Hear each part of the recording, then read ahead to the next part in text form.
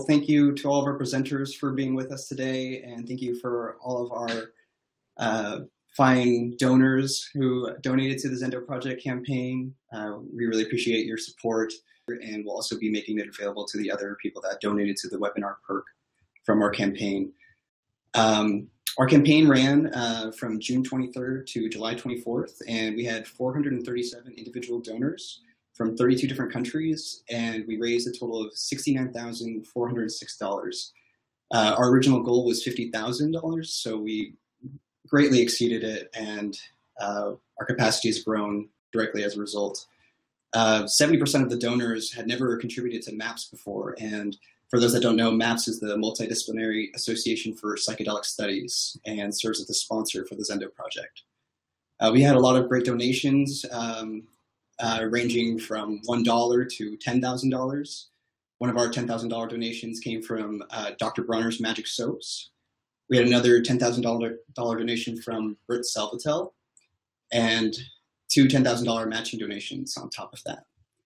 Uh, the contributions we have uh, received uh, helped us just travel to Burning Man and a bunch of other festivals. We've built a new structure, trained more volunteers, and our capacity is growing more every day. Um, with us today, we have uh, Zendo project coordinators and volunteers. We have Zendo project coordinator Sara Gael, Zendo project coordinator Chelsea Rose, Zendo project coordinator Shannon Petitt, and we also have MAPS founder Rick Doblin. And uh, I'm going to pass it along to our um, coordinators and Rick and let them introduce themselves and explain how they became involved with the Zendo, and then we'll move on to some discussion topics and open it up to Q&A. If you have questions right now, feel free to uh, type them into the chat box and we'll address them uh, at the end during Q&A. And if you feel like discussing the content amongst yourselves, uh, feel free as well. So uh, I'm going to pass it on to Sara first. Uh, Sara, would you be open to uh, telling us a little bit about yourself and your involvement with the Zendo project? Hey, everybody. My name is Sara Gael, and I've been involved with the Zendo project since its inception in 2012 at Burning Man. And since then, I've had the honor and opportunity to help coordinate the project at events and festivals all over the world, uh, including Burning Man, Africa Burn, Lightning in a Bottle, Envision Festival, and uh, some other regional burns, as well as some smaller events. So I've been doing this for about four years, and I am also a private practice therapist. I have a master's degree in transpersonal counseling psychology from Naropa University in Boulder. And I am also currently working as an intern investigator in a Boulder, Colorado um, study, phase two clinical trial of the safety and efficacy of MDMA assisted psychotherapy, uh, which is finishing up right now in Boulder. And I'm happy to be here. Thank you everyone for attending. I'm excited to talk about this. This is something I'm really passionate about and uh, really happy to have you all here. Great. Thank you, Sara. Um, Shannon, would you uh, be open to sharing a little bit about yourself and your involvement now? Yeah. Can you hear me okay? Great. Um, so I'm Shannon Clare Petitt. I've been working with MAPS since 2011 and working on Zendo events since, I guess, 2013, more so in the last year and a half than before. Um, with the Zendo events, I have worked as just a volunteer sitter um, in conjunction with my job at MAPS and then started getting more involved and recently have been doing more coordination with Sara, Chelsea, and Lene, who's not here today. Um, I also have a master's in counseling psychology from the California Institute of Integral Studies in San Francisco. I will also be seeing subjects in one of our phase two clinical trials with MAPS in Marin. I'll be seeing subjects starting in January for the MDMA assisted psychotherapy for anxiety related to life threatening illnesses. Um, the PI on that study is Phil Wolfson. So, very excited to be doing that. Um, also at MAPS, I help coordinate the therapist applications for phase three, which is coming up in 2017, and our therapist training program, how we train therapists who are involved in our clinical trials.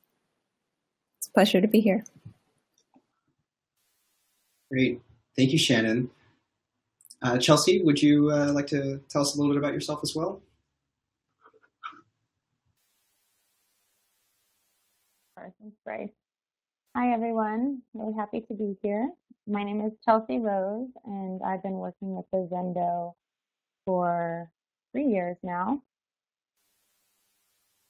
Um, I do a lot of the on the ground logistics and volunteer coordination. I also have an MFT license. I'm currently an intern working toward my hours to get my license. And I work with another harm reduction organization called DanceSafe, and I do their product management. Um, I currently have a nine month old little guy here, so I may have to pop off my video um, and pop back on, but I will be here.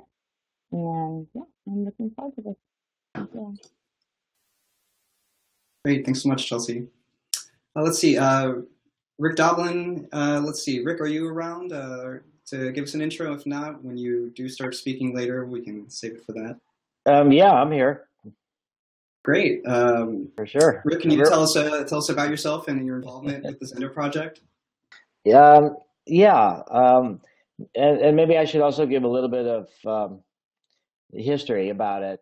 Um, Yeah, and can you get turn your webcam on? We'd love to see you. yeah, I thought it was on. Uh, let me see. Ah, there we go. Oops. Okay. Thanks. okay. I couldn't see myself, but I was wondering why, and I thought maybe it could only take four or something. But okay. Um, so um, first off, just I wanted to thank all of those who. Uh, well, I really want to thank uh, uh, Chelsea and Sara and Shannon for uh, really making this project happen, and Bryce, you for organizing this uh, webinar seminar, and then also um, Lene, who's uh, coordinating the Zendo project, um, and then especially to those people that have donated to uh, help us do this work. And we look forward to um, explaining more about what we're doing today and interacting and um, addressing whatever questions you might have. Um, I'll, I'll start out by saying that um, it was really in um, the year 2000 when I started thinking about how maps could um, scan sort of the horizon as, it was developing that um, we were starting to get permission for MDMA assisted psychotherapy. Um, that there was two different concerns. One was what are possible causes of social backlash? You know, after decades and decades of suppression of research with psychedelics in the 70s and 80s, and then things started turning around um, in the 90s. Uh, and it was such an important and precious opening that I just started thinking, you know, where might there be this backlash?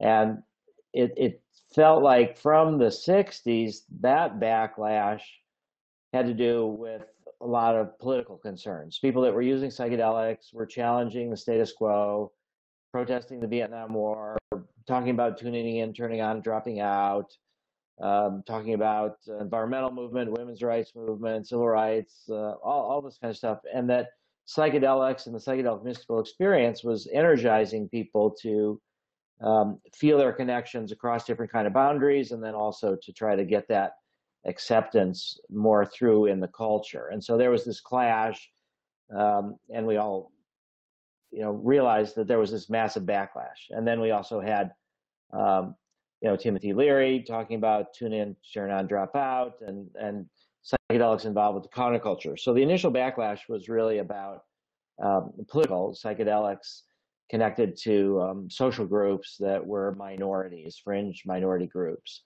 Um, now starting let's say in 2000 when we're just starting to get permission for psychedelic psychotherapy research um, the backlash is really if it's going to come, and the main concerns at that time, sort of supporting the drug war, were about um, parents worried about their kids. And you know, the drug war was presented as this whole big plan to kind of protect the children and um, protect them from drugs. And and so I, I recognized that one of the main places where young people were using psychedelics was at these electronic dance music festivals, and that if there were negative outcomes there, that could impact the media and then impact public perceptions. And so, if there was some way that we can make a contribution towards um, reducing those kind of risks in the culture, that would be um, a, an important contribution to helping really the, the psychedelic research move forward. And then the other challenge that we had in the uh, developing teams to do psychedelic psychotherapy is how do we train the therapists? And it's it's complicated by the fact that um, it's not like yoga where you can just go to a yoga teacher, or it's not like meditation where you just go to a meditation teacher because the the core process of taking MDMA was illegal, and so th- there was really not. It's very difficult to think about how do we train therapists with real practical experience. So then those, those two ideas sort of came together um, in this um, idea that if we could bring people that were both trained in psychedelic therapy and wanted to learn about psychedelic therapy, and then have them volunteer their time at festivals to try to um, support people having difficult experiences, that that would both reduce possibilities for backlash and at the same time give us opportunities for a therapist training. So starting in 2000, I started reaching out to the, um, didn't mean to do that. I started reaching out to the Burning Man organization. And uh, unfortunately, because of the perverse incentives in the drug war, um, that there have been efforts that are still around um, that make it so that harm reduction efforts uh, put create a legal risk for festival organizers and people who run um, bars and places where people might get together to do these things that these uh, regulations these laws were designed against uh, crack houses people at crack houses and then starting around 2000 2001 um, efforts through senator biden to pass the rave act which is reducing america's vulnerability to ecstasy. And what it made was this idea that um, if you provide, if you knowingly have a facility where illegal drugs are used, then you yourself are guilty and you could have your assets taken away from you and you could be put in jail.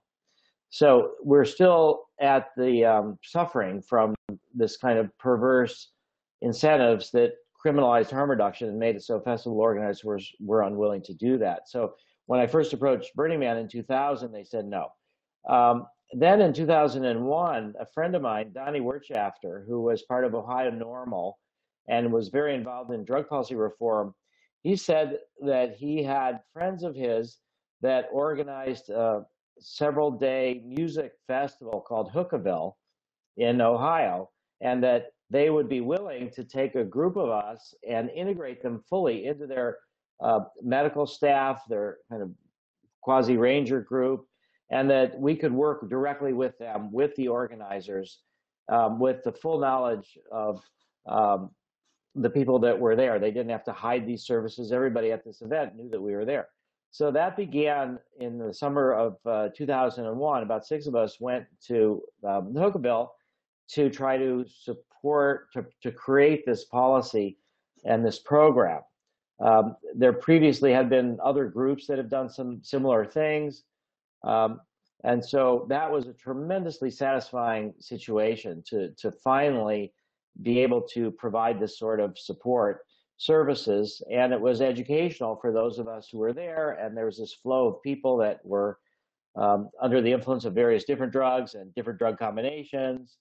And so we were both able to help others and also help each other by um, observing and giving each other tips about how we were using the psychotherapy. Then, in, starting in 2002, we were contacted by the Boom Festival in Portugal. And Portugal has the uh, uh, drugs are decriminalized. And because of that, they're now the world example of psychedelic harm reduction. They do on site drug testing, thin layer chromatography. Uh, they spread the information out to everybody that's there about um, what the drugs are being sold, what they actually are. And the organizers provide spaces and funding for staff to provide these support services. But it was very early on, in, in so we were there 2002. It was pretty disorganized. Uh, the early stages of the Zendo of the uh, Boom Festival. So we started building that up, and then in 2003, after three successive years of offering to the Burning Man organization for us to come in 2000, 2001, and 2002, all of that rejected. In 2003, um, some of the rangers actually contacted us and said, We've got a problem here. We've got all these people that are having difficult trips. We don't really have the space or the staffing to help them. You've got the expertise. Would you help us? And they actually offered us um, free tickets to Burning Man to about five or six of our staff. So that began the work there at Burning Man in 2003. And it grew and grew and grew. It was led by Valerie Mojeiko um, from our staff, and she did a really great job of uh, bringing to bringing structure to this program, starting training programs, and we got to be the place where we were the largest group of volunteers at Burning Man that weren't directly working under the Rangers, and it, it sort of became, in a way, we were. Um, uh, hurt by our own success. It became so large that then it became an issue for the lawyers and insurance people and others at the Burning Man organization. And they, and also I became a little bit of an annoyance um, by just pressing them to be more open about what we were doing and to let people know what we were doing and to spread information. So I was sort of being annoyance, as I said, pressing them in that way. Um, and we were more visible than ever before. And so then they um, got the advice that lawyers and insurance agents tend to give you, which is, you know, be cautious. You've got risks here. So, you know, the Burning Man organization decided to shut the program down. Um, meanwhile, we'd gone back every year to Boom. It's every two years, um, and started uh, roaming around the world, looking at other models for people that do this, and started looking at some of the other regional burns that Burning Man was using, and and we kind of um, for a while we're we're at a loss though for how to do this uh, at Burning Man, and really just pulled back into our village and and didn't really have much of a public um, offering in that way. Um, and then four years ago, um, Annie Harrison uh, and John Gilmore, John Gilmore being on our board, um, they realized that if they were to start a tea house in their village and offer not really psychedelic support services explicitly, but a place for people to come and rest, for people to come and hydrate. They would offer uh, mattresses and beds for people to sleep there if they needed to rest. That if they did this in their village, then the Burning Man organization would not be liable for anything that they did and would not feel responsible. And there was no risk from the org point of view in terms of their liability in any way. So that was really the, the key to um, giving, giving us the sense that we could try then offering um, support services from our village. And go back in a way and, and become public again and do it in that way. So that's where we talk about dating the Zendo project. It was when we went back and started offering it in our village, even though our work really began at Burning Man in 2003 and the, the initial project began in 2001. So that really started this um, development that has grown every year to the point now where, you know, we just completed um, two, the, this most recent Burning Man, we had two uh, Zendo locations, uh, whereas all before we had one. This also helped because um, Lene and others have gone to uh, Africa Burn, where we were able to work directly with the medical staff and the ranger staff in close coordination. Um, and we've done that again through um, through Boom was an example. So now what's happened is that uh, there's uh, a lot of questions about the the Rave Act, and actually the Drug Czar's office has accepted a meeting that's coming up um, in just a few days, actually, um, with uh, Dede Goldsmith, who is one of the founders of Amend the Rave Act, and several other people are going with her to a meeting at the drug czar's office to specifically talk about psychedelic harm reduction and and about the Rave Act. And is there if there's some way to make clear um, with some simple kind of amending language that providing harm reduction services is not a trigger for uh, the Rave Act for either having people's assets seized or a criminal prosecution.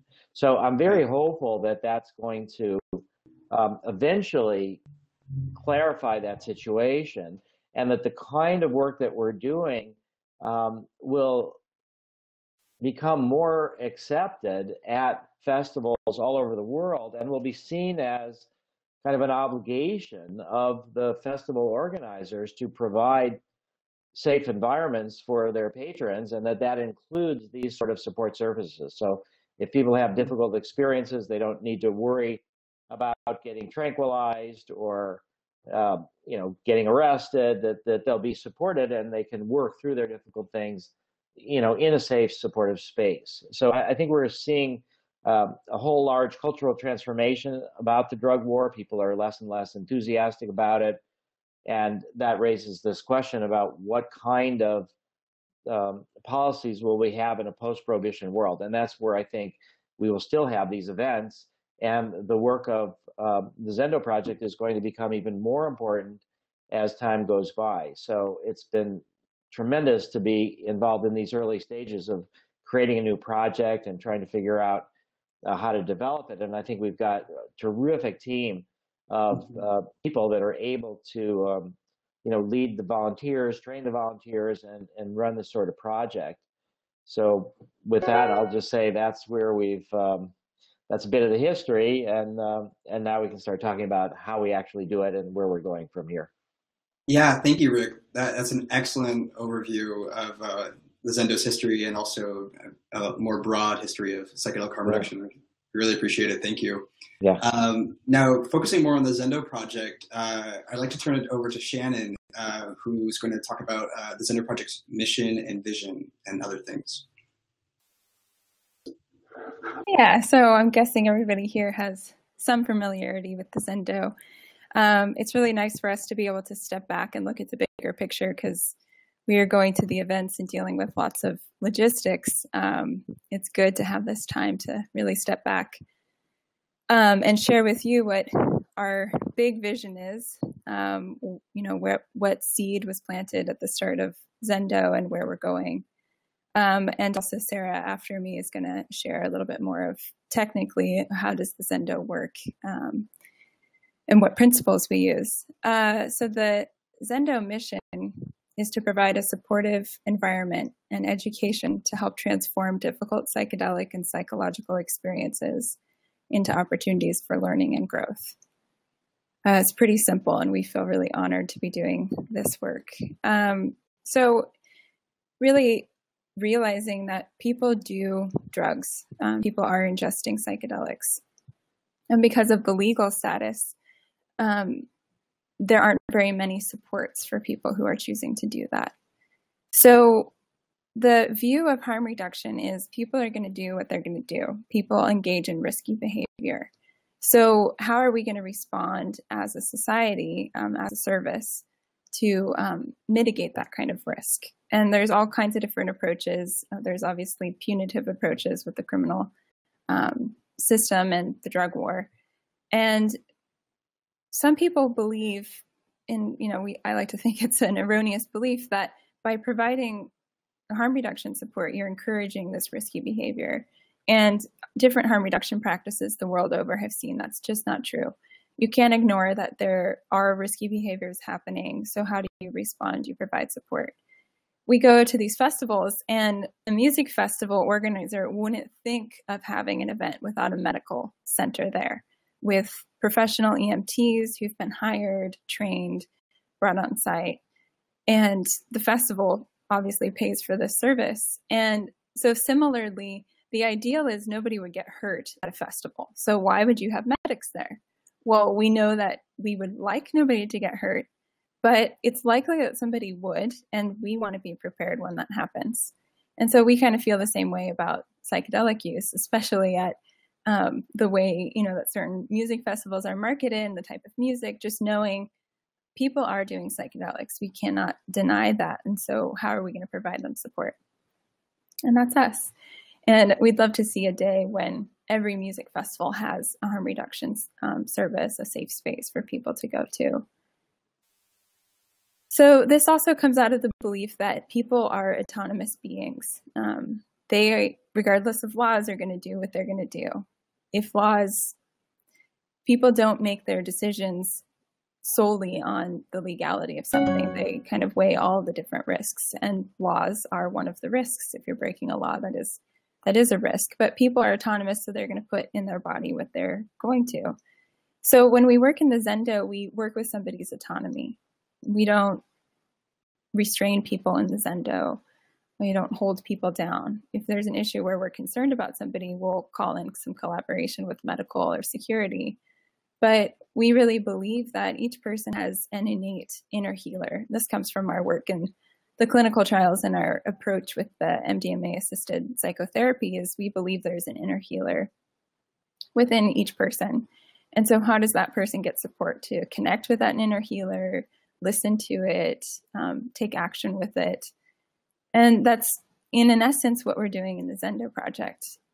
And that can look a lot of different ways because sometimes we're dealing with crisis. So, um, in some cases, we're dealing with symptom management, kind of de escalating somebody from a panicked state.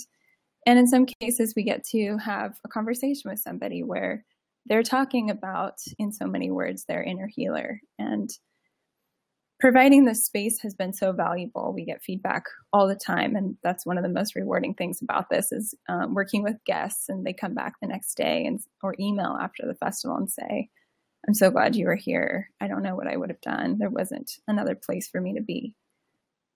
Well, the other place for them to be was in the medical tent or in an ambulance to a hospital or tranquilized, as Rick mentioned, or arrested a lot of the larger music festivals have a strong law enforcement presence within the festival grounds. So some festivals, that is how they do they deal with crisis is just have law enforcement come in and um, especially if somebody's on a substance that's illegal, um, that creates major problems for them that they're going to be dealing with for the rest of their life if, if they get into legal trouble.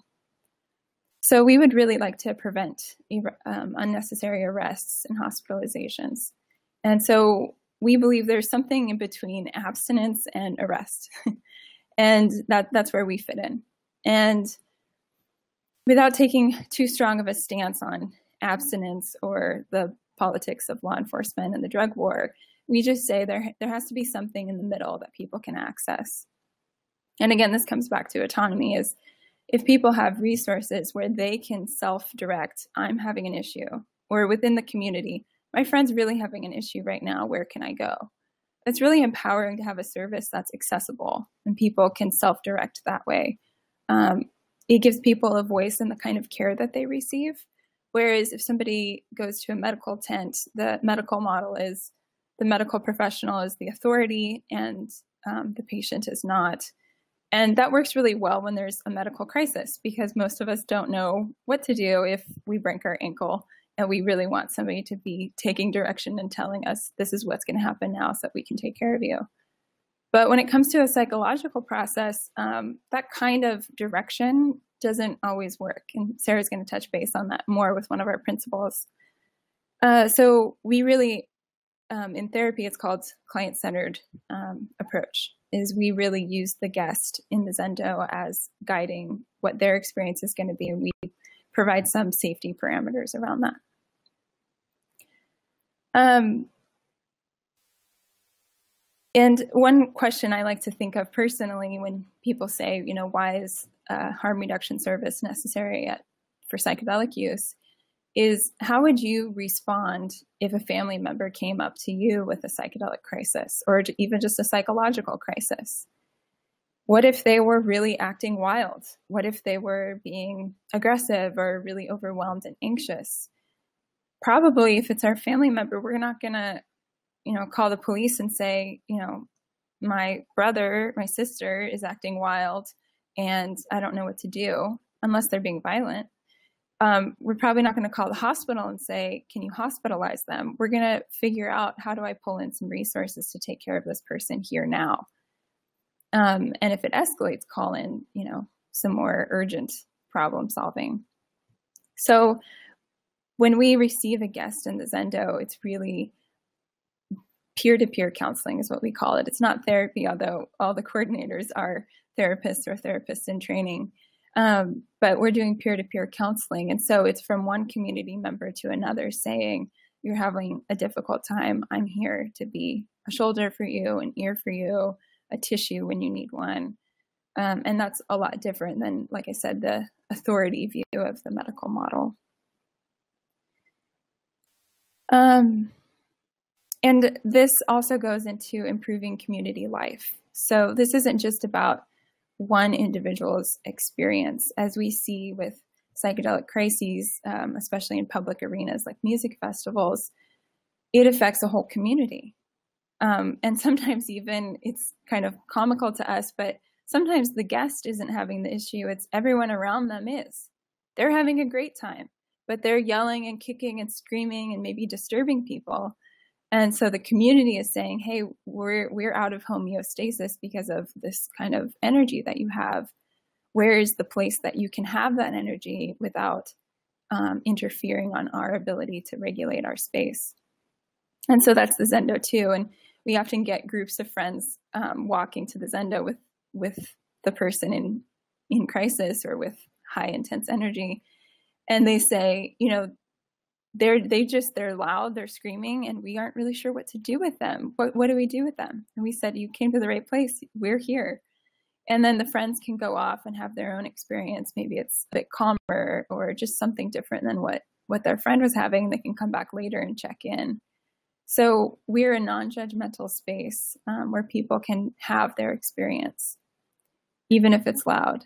And when the zendo is not there and somebody's loud, aggressive, um, even just kind of bodacious, even just dancing wildly or loudly, or, or maybe taking off clothing in a festival where that's not appropriate. When the Zendo's not there, um, that person gets sent to security, or or even at some festivals gets arrested um, for public nudity or public indecency or disturbing the peace. Um, and that's just really sad because again, if that was your brother or sister, what would you do? You might chuckle a little. You may, might be like, "Hey, hey, you know, why don't we come over here in a place that's um, not disturbing other people?" And and so um, that's what we really hope to provide. A big piece of this is being non-judgmental, um, and and that goes that can that goes all the way down to our specific techniques, but it also relates to our entire vision. Is instead of judging people for you're doing drugs, these are illegal, um, we're going to arrest you, we're going to punish you. It's okay, you've made this decision. And now what are we going to do about it? Uh, now, how are we going to deal with the consequences? How are we going to make the best of what has already happened? People come to us in the Zendo, they've already ingested substances. We're not, um, we're not encouraging people to take substances. They've already done this, and then they're having a certain kind of experience, and then they come to us. Um, yeah, there's just lots of exciting things going on with the uh, with the Zendo and creating this non-judgmental space is is really important. Um, and it's just hard to realize sometimes how the medical model or the law enforcement system, it might be easy for perhaps us here, but it's sometimes hard in our society to realize just how judgmental that is. Even going to a doctor who's providing care. Um, you know, doctors are really, really valued in our society and they're really valuable. Um, and yet there are judgments when people go to doctors. We have people who say, you know, I couldn't tell any of my friends, I couldn't tell my doctor, I couldn't even tell my therapist after the event that I had taken, you know, ecstasy, LSD. I was just so embarrassed, or I knew they were going to punish me, or I knew I was going to be judged. And so the Zendo also provides this kind of cultural space where it's actually okay to talk about what's really going on. And I, I sometimes liken it to I don't have any kids, but um, like a parent, their teenager talking about having their first kind of attractions and sexual feelings is would you rather have that conversation in a safe way? Or would you would you rather shut it down and say we cannot talk about this. All of this stuff in this category is inappropriate and so it's just not going to happen. Um, so similarly we know that that's not true so we're creating a safe space for talking and processing. Um, the last piece i wanted to touch on is some improvements that we've seen in the zendo um, over especially the last year even the zendo has grown astronomically even in just the two years that i've been working with with the Zendo. And um, it's gone from just being one or two uh, leads working on it to now you're seeing three of us here in this room, plus there are several others. Because we, the Zendo's been going for several years now, and actually at Burning Man, we had almost 200 volunteers get, go through our training. We have more people trained who can take on more responsibility, which means we can be at more events. The limitation um, which you all are helping us with is is the budgetary amounts of how do we actually get to the event and have the supplies. But as far as the human resources aspect we have so many volunteers who are trained and so many more people who want to be trained and come in. So some of the improvements we've seen are um, that we have more pilots um, that we have more collabor- collaboration with medical so in several festivals, we've actually um, partnered up with a medical team who does specific festival emergency medicine. And they've just added us into their budget. So when the festival says, okay, we need medical, um, the medical team says, okay, this is how much it's going to cost. This is how many staff members we need. This is how many tickets we need. This is how much space we need.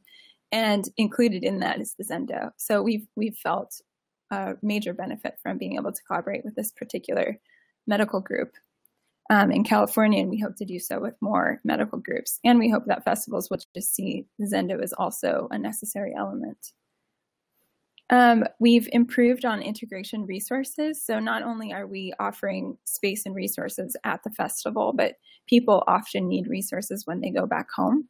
Somebody's having a really intense experience, or sometimes the rare case is um, somebody having a psychiatric issue um, unfortunately, at a couple of events this year, there were fatalities at the festival, not at not at the Zendo, but on the grounds of the festival. And we've been working with the families and the camp members who were there to do grieving support after the festival. We've created a list called the Psychedelic Integration uh, Resource List, which is live on the MAPS website, and it's a list of mental health professionals who help people integrate previous psychedelic experiences. So that's also available to people. And um, and the Zendo even during the event is open for integration. So say we're at an event Thursday through Sunday, somebody has a difficult experience on Thursday or Friday night, we encourage them to if if they were in the Zendo to come back the next day, if they want to talk and process the next day, or even if they were never in the Zendo, they can just come in and, and just talk and sit sit with somebody and talk about what their experience was that's often the piece um, we kind of say it's the work in the weeks after the experience that really offers the change that sustains itself in their life. And that goes back to the part in our mission that we talk about learning and growth. How can we transform difficulty into growth? Um, just a few more improvements I wanted to highlight. Rick already talked about um, the improvements with Burning Man, where um, at one point in our history, you know, they weren't sure if they wanted us to be there. And then this year they came back and said, we really want to have even more harm reduction services. We want you to be here. We expanded to two locations. We had nearly 200 volunteers. Um, another improvement is we're seeing other groups doing harm reduction, which we absolutely love. Um, one of them is we were just recently contacted by one. We didn't even know that they were um, going to be doing harm reduction in this um, East Coast festival. And so we collaborate with people, we offer them support so that they can do harm reduction. We offer groups training. We've done trainings for music festivals so that the festival can have their own staff or volunteers have a safe space using the four principles. And we hope that that will just keep expanding. We're even seeing international resources um, popping up too, so that people in international festivals are having a venue for safety. Rick already mentioned the Amend the Rave Act, which is going to change the policy. A lot of festival organizers and club owners for the rave scene are afraid of having harm reduction services because they actually are afraid of laws that could interpret that that was seen as promoting drug use, which we know is is absolutely ridiculous. Um, the Amend the Rave Act even can sometimes include providing water to people at an event or in clubs, reducing the temperature. Um, I will let Chelsea talk more about that later. And then the final improvement is just the number of events that we've been going to. We've increased the number of events per year. We're always adding more. We're seeking out festivals and talking to festival owners who can provide us the basic needs that we have a space, a certain number of volunteer tickets. And uh, we added Symbiosis, the Utopia Regional Burn, and even at the DPA Reform Conference next month in DC, we're going to have a safe space for people at the conference who are not necessarily taking drugs at a conference, but that they're talking about drug policy and the war on drugs, and people will be there talking about their drug experiences. Um, and also at a related event called Catharsis, which is a memorial for those who've been hurt by the drug war, um, which is going to be a very powerful evening too. So we're always expanding, and if you know of events that you'd like to see the Zendo at, we'd love to hear about it too. So thank you. Great. Thank you so much, Shannon. Very informative, and it's really inspiring to see uh, how things are progressing. Uh, Sara, would uh, you like to tell us a little bit about uh, the harm reduction principles and protocol and how to interpret difficult experiences? Let's see, can you unmute yourself?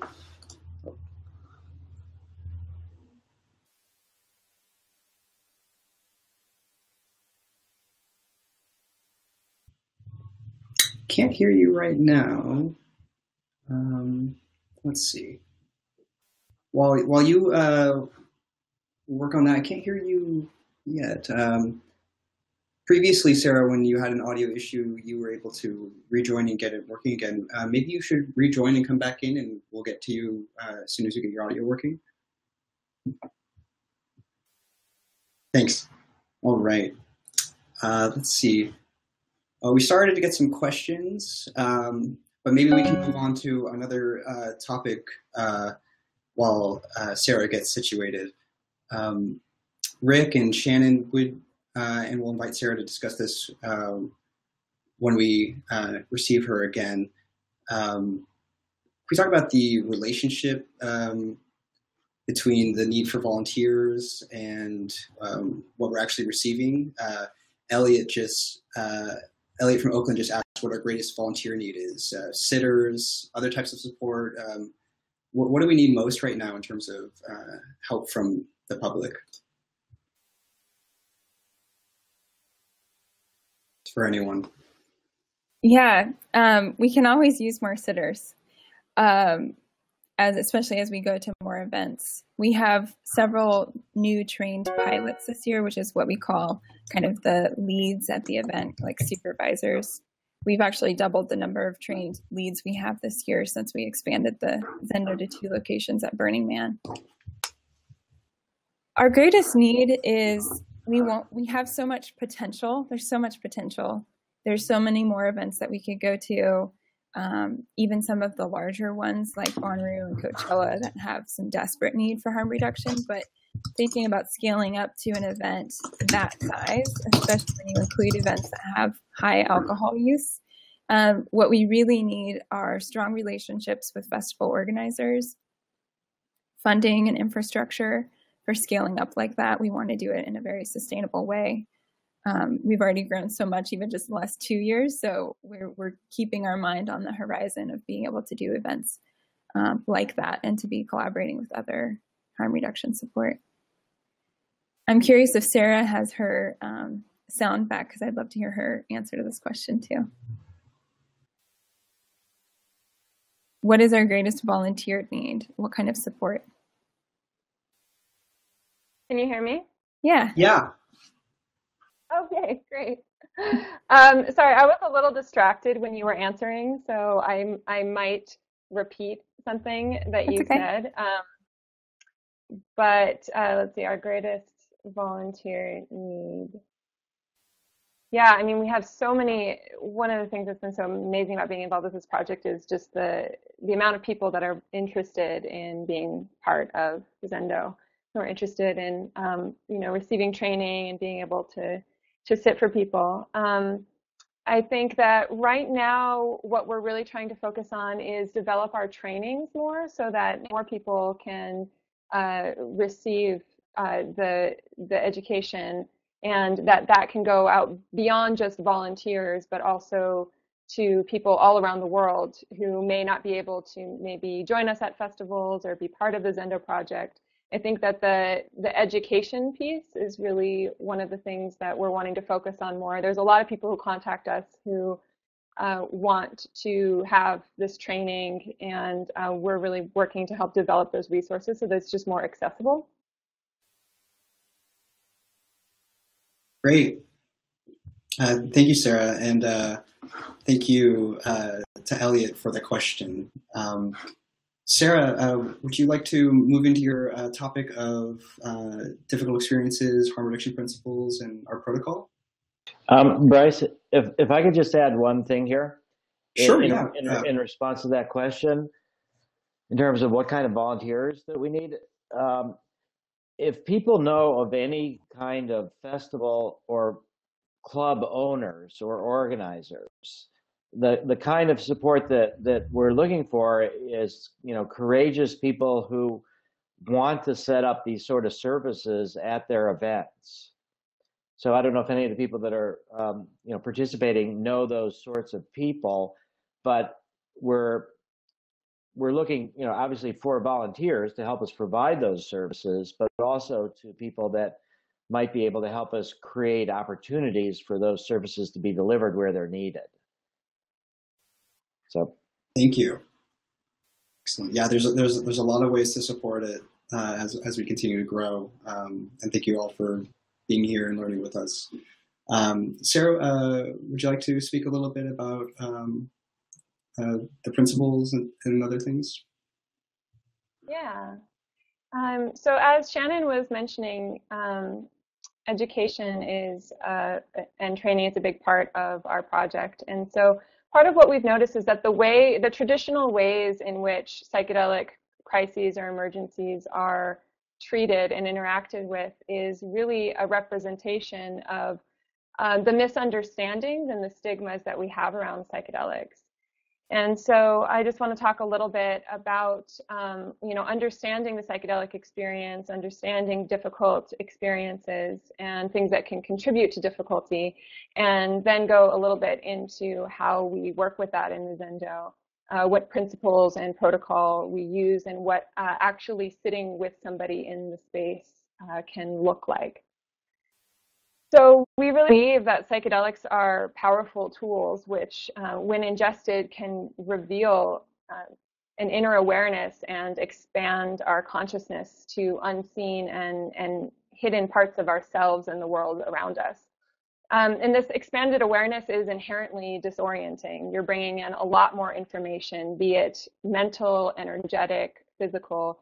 It's a lot more information. Um, and this can bring up anxiety, uh, fear of losing control, um, suppressed traumatic material, uh, uncomfortable realizations and experiences, confusion, um, altered sense of time and space, um, feelings of isolation, and extreme like transpersonal or spiritual experiences that might be really out of the realm of normal, non-altered, ordinary uh, state experiences. So um, difficulty and discomfort and overwhelm are often signs that there's something that wants to be healed or looked at and, and transformed. For thousands of thousands of years, psychedelics have been used by different cultures, by shamans and healers to help uncover fragmented parts of our psyche and help to integrate these parts. Um, so psychedelics have been recently discovered in the West in the past century, but you know we know that there's thousands of years, centuries of uh, use of plant medicine throughout the world, and that these are ancient healing technologies that have been been used for a very long time. So, um, you know, and as they've been rediscovered in the West, we've really and researched as they were being in the 60s, and as now we have a resurgence of this research. Uh, they're believed by many to be powerful healing tools. Um, so there's a variety of factors which can contribute to the experience of someone on a psychedelic, and these include the external environment as well as the internal environment of the individual.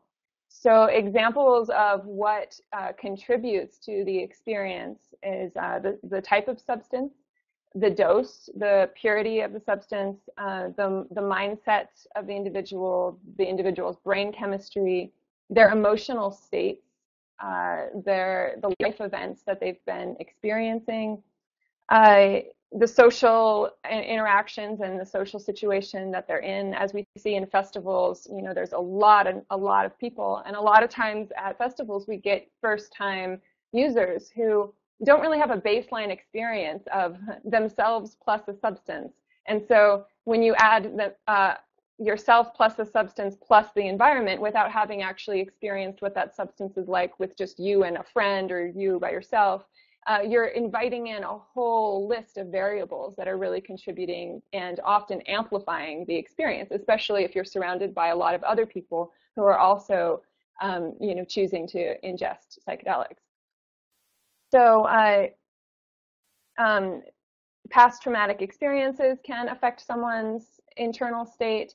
And in the Zendo, we often um, see people who are coming in who have ingested something, and you know, they, their intention was to have fun, to have a good time, and then all of a sudden, this deep emotional uh, stuff is coming up to be processed, and uh, their friends maybe you know don't want to be doing that with them. They want to be out dancing and having a good time, and all of a sudden, they're with their friend who's going through uh, some intensity. And so what we really provide is, is a space for those people to come with I get people who are brought in by their friends and their friends are just like, we don't know what to do. We took this and we just we want to have fun and we're not quite sure how to support our friend. And so that's what we're there for. We're really specialized in, you know, we have volunteers who signed up to be there for their eight hour shifts and that's they would rather be doing nothing else than than being a presence, um, a compassionate presence for people at the festival. So they know that in the Zendo they have someone who's going to sit there and listen to them and and engage with them, um, and that that person is not thinking in the back of their mind, oh, I'd rather be doing something else. That person is actually their intention is to be there and be a support. Um, so while difficulty and overwhelm are pretty much par for the course during a psychedelic experience, they're not necessarily something to be avoided.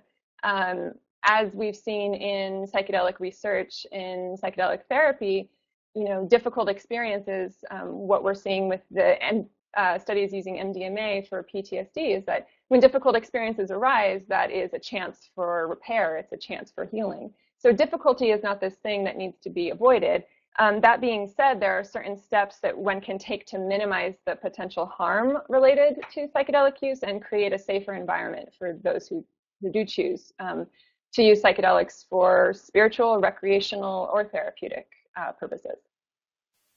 So in the Zendo, that's what we do. We work to create a safe container that may not be there um, for the person when they took the substance. So if we see historically uh, throughout you know, if we if we look at other cultures who have used psychedelics for healing, there is a container. There's usually your experience is held within a group field or it's held with a shaman, and there is an energy that is uh, providing a safe container.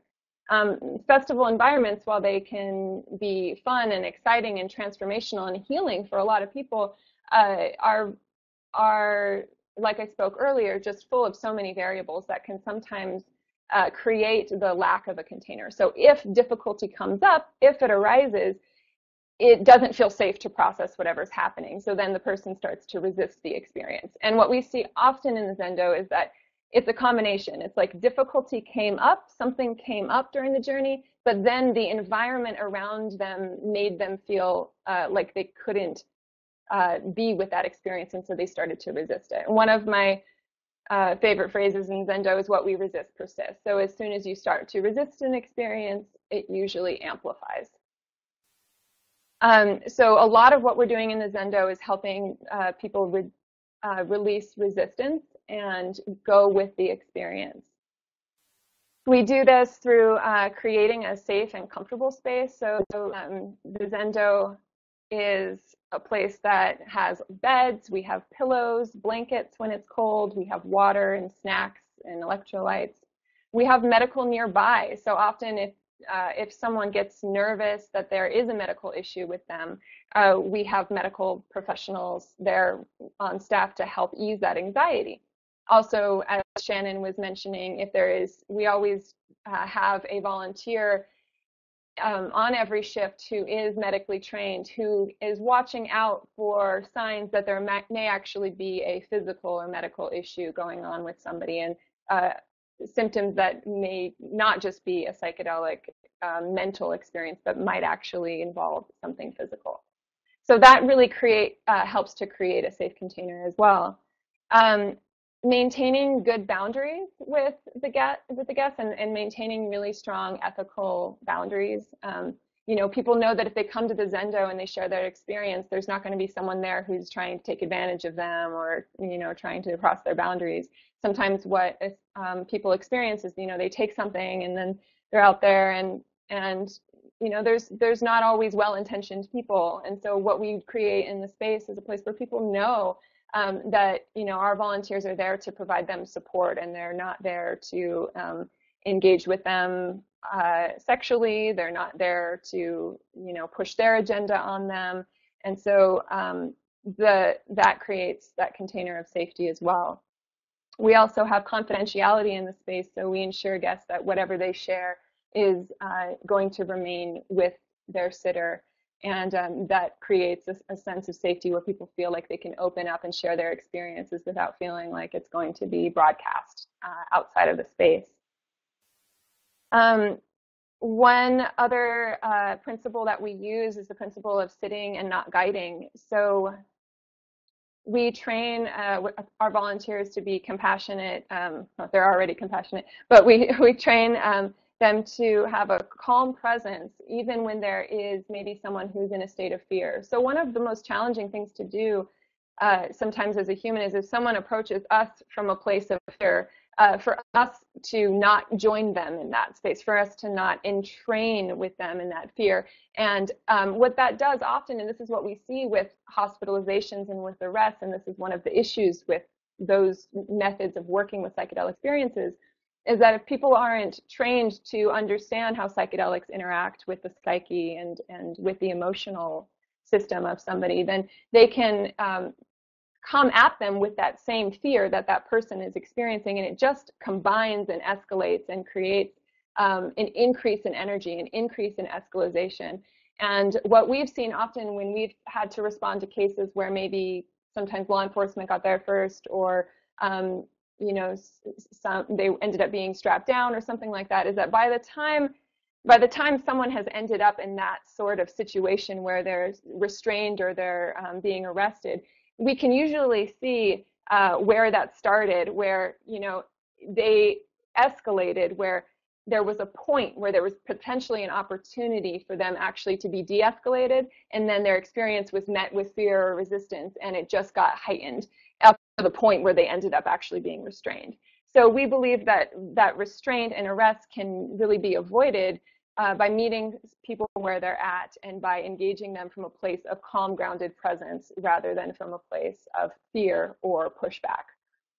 Um, so with this, with this principle of sitting and not guiding, also uh, we let the person's experience be the guide, so we're not inputting a lot of our agenda or our beliefs about what should happen or what the situation should look like. Uh, we try not to get ahead of the process, but follow the individual's process, as Shannon was mentioning, really following that inner healer, that intuitive knowing, uh, which is so often just amplified during a psychedelic experience, our connection to that inner healer. Um, a lot of what we do in this space is simply being and not doing. Uh, even though um, some of what we offer may look like um, therapy, as, as Shannon was mentioning, we do peer-to-peer support, but some of what we're doing does look like therapy, but we're not, um, we're, we are client, sorry, guest-centered, non-directive. So we really are watching and looking for where their system is going and we're following them rather than being the leader or being the guide. Uh, and a lot of it is about having beginner's mind and dropping the agenda, dropping our agenda. So really um, coming at it from the perspective that we don't really have any idea what's going on in someone's internal experience. It's really funny. Sometimes we get people in the space and their experience might look like really, you know, um, intense to us, and it's a really intense process, a lot of energy, and really difficult and really hard. And then the next day, the person's like, "Wow, that was the most amazing experience of my life. Like that was great. I had such a great time." And so sometimes things can look different from the outside uh, than they do on the inside. And so really coming to each individual from that place of of beginner's mind and curiosity uh, rather than being the expert or the one who knows what's happening. We also really work on talking through and not down. Uh, and what that means is that we help the person connect with what they're feeling and we encourage them to move toward rather than away from what they're feeling. So this is what helps with uh, decreasing the resistance to their experience. Um, so turning towards difficult emotions, turning towards difficult sensations. It's so a- a counterintuitive as humans, we're really trained to move towards pleasure and move away towards pain. Um, but often the the most transformational healing uh, happens when we're actually really able to surrender to the process and really turn toward whatever is causing us anxiety or fear. Um, you know, looking the dragon in the eyes, looking the tiger in the eyes. And so uh, we really um, help people, you know, and support them in doing that. Um, and what we find is that that can really uh, ease the anxiety. Anxiety really comes up when there's something that we're trying to avoid.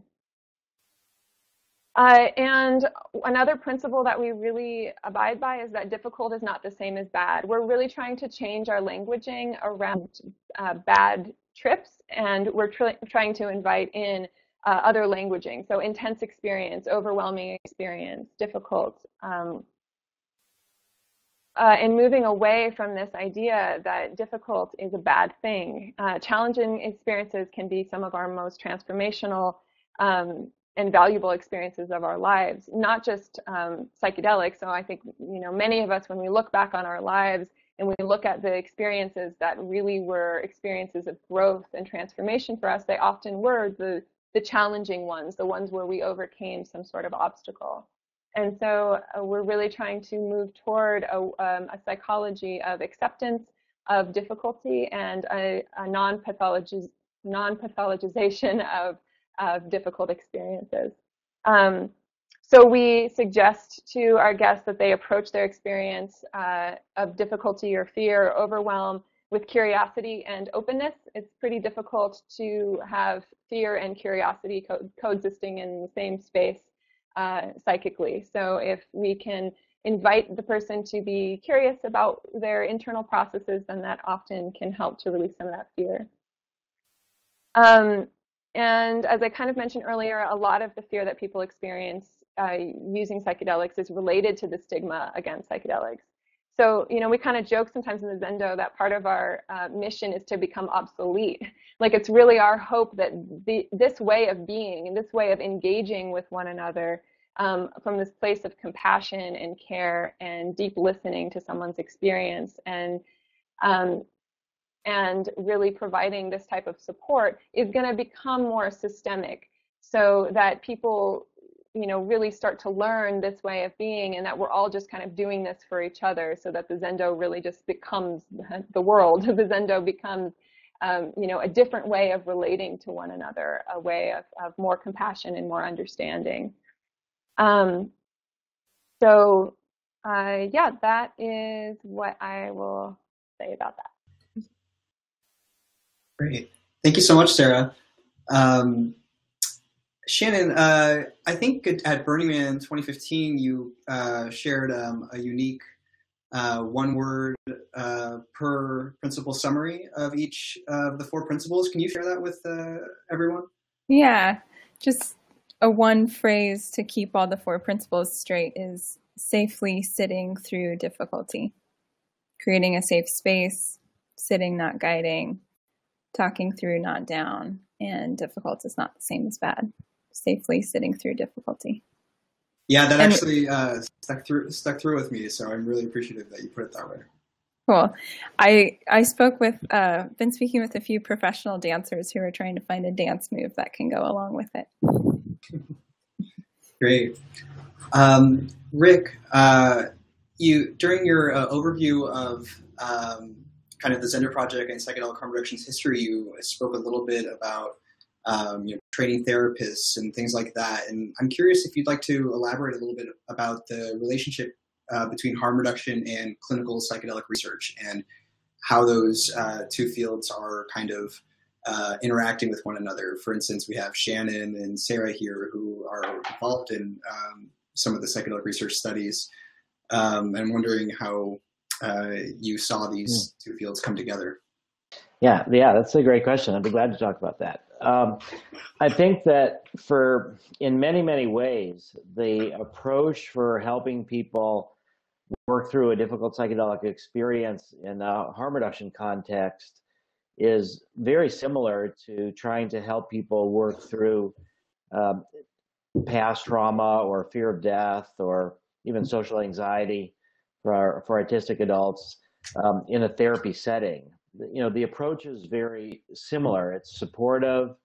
It's uh, following the uh, the person and, and, their own inner healer, the, the way that things are coming up, rather than trying to impose a structure on them, and being a sort of safe and supportive anchor for people, and also having the courage to um, explore with them the things that have been very difficult for them to uh, integrate in their life, either on an acute basis or on a long-term basis in a therapy setting. Um, I think a lot of ways um, the kind of principles of psychedelic harm reduction, you can be more um, public about them at schools, at various other kind of educational settings, because you're not explicitly saying that um, you know this is how you do it in therapy for people who uh, choose to do this. This is just for people who inadvertently end up needing help. Um, there, there's also a, a major difference is that in the therapy setting, people come with the intention of doing therapy, with the intention of actually looking at things that are difficult for them and that they've had a hard time um, integrating. Uh, so, in a harm reduction setting, people often were just looking for fun, and they're they're not necessarily signed on to this idea of doing difficult work um, going deeper into the things that are bothering them. So I think there's a little bit more of this tentative kind of invitation to people to look deeper if they want to, but we have to recognize that you know they didn't sign up for psychedelic psychotherapy. Um, so I think there's um, you know in a therapeutic setting we still do this kind of inviting people if they want to look at this or that but we have kind of prior understanding that they've got this problem that they want to work through. And so we also, in a therapeutic setting, have a lot more background knowledge about who people are. We know about their health. We know about their history of other medications, their psychiatric history.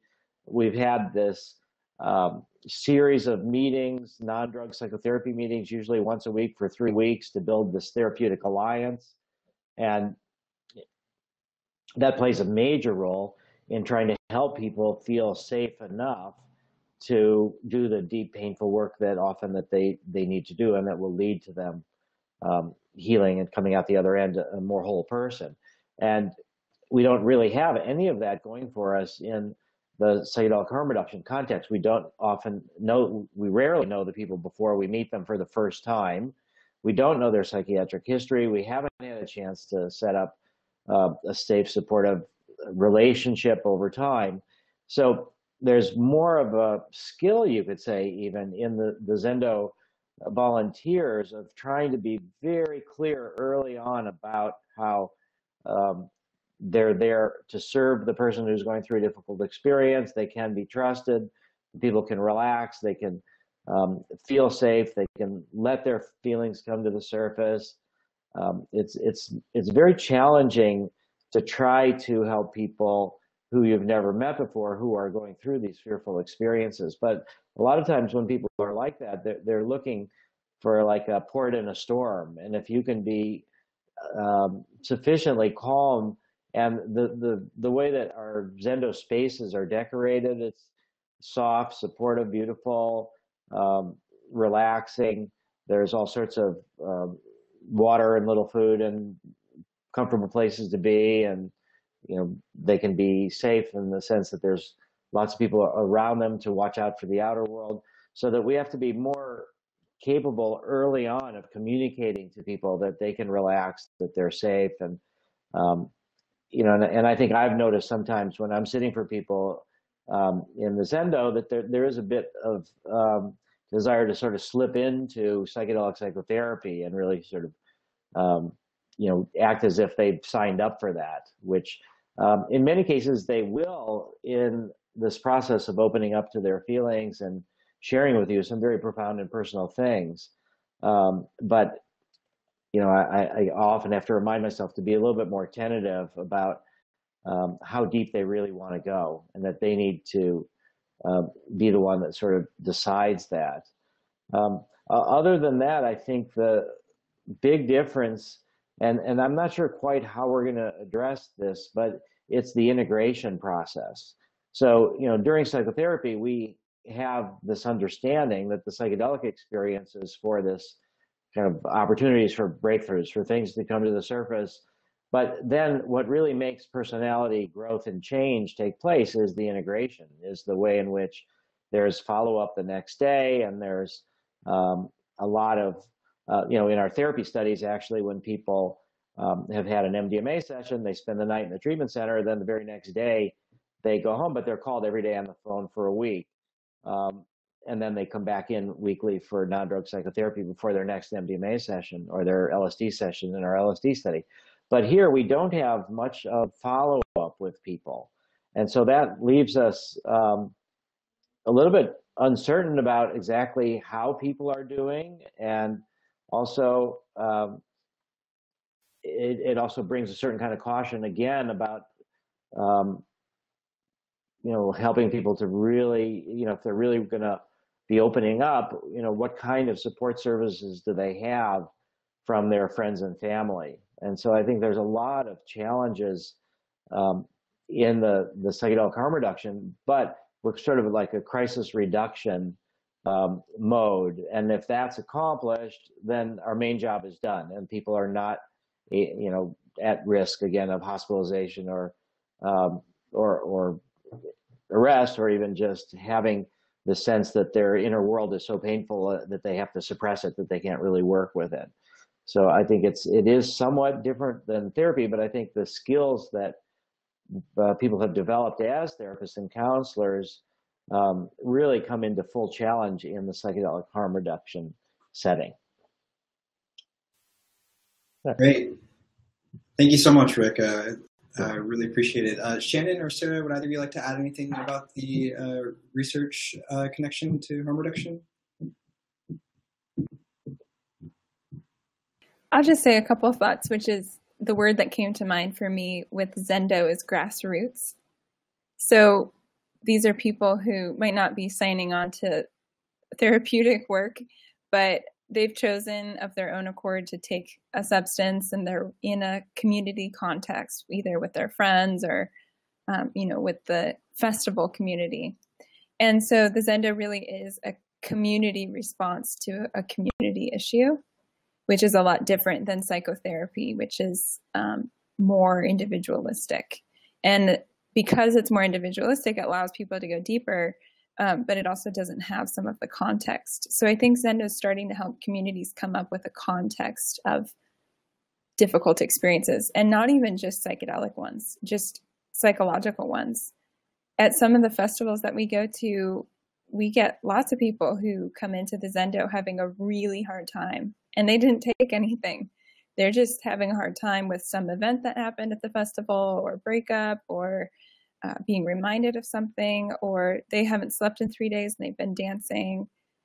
And so we're starting to create this space where communities are learning it's okay to talk about difficulty. And I'm not going to be judged by it. In fact, I'm going to have support. And so that's part of the vision, connecting back with that vision of communities, like what Sara said, someday communities are just going to do this and there doesn't have to be a special space that you go to to be listened to. It's just you get listened to wherever you go. Um, and i think that the integration piece though is a really important part to consider because yeah if somebody you know says bye mom dad friends i'm going to go off to this festival see you on monday well when they come back on monday if they've had a life-changing experience or you know, heaven forbid, a psychotic break or something really life changing happen at the festival, you know, a, a, positive one or a very difficult one, um, they're coming back a very different person. So, what kinds of resources do they have? What's going to change in their daily life? Are they going to be able to go to work on Monday morning? What do they say to their friends and family when they come back? Uh, and that's why we have improved so much the integration resources that we are giving to people after their Zendo visit encouraging people to come back to the Zendo during the event, um, giving our business cards in case they need somebody to talk to or somebody to find some other resources back home. Having the psychedelic integration list. Lots of our Zendo volunteers are mental health professionals, so so they know. Oh, you live in Los Angeles. I know ten different therapists. I can give you their names, and you can you know find somebody who works for you back home. Yeah. And I can add to that um, that one of the other differences between a clinical setting and a harm reduction setting is that not only are the external variables in a clinical setting um, accounted for and really minimized, and we're working within, you know, a, a space where um, there's a there's a lot of control of the external environment, um, but the other piece is the internal environment. So when somebody signs up and becomes part of a, a study with psychedelics, they are screened heavily for, you know, their um, their mental health history. And, and, so one of the most challenging experiences that we have in Zendo is people who choose to take psychedelics who may have some underlying uh, mental structures that are not really uh, compatible. And we really hope that you know the education piece is really going to help with that um, because you know not uh, everybody um, is compatible with psychedelics, and so some, we get uh, people who come into the space who did have some sort of underlying issue that has been exacerbated by the festival environment or by psychedelics that that come in who are having you know some sort of um, uh, psychological break, some sort of experience that then uh, you know we we have have sometimes have to help people find resources outside of you know the festival environment and and have helped people find alternative you know whether it's hospitalization or uh, therapists as Shannon was speaking to. Um, yeah there's just some some of us don't have the the um, brain chemistry that's really compatible with psychedelic experiences. So I will speak to that that like you know in the in the research context there really is a lot of screening happening there. So um, that variable is also something that's accounted for. Thank you, Sara. Uh, Chelsea, do you have uh, a moment to tell us a little bit about Zendo Project's harm reduction policy?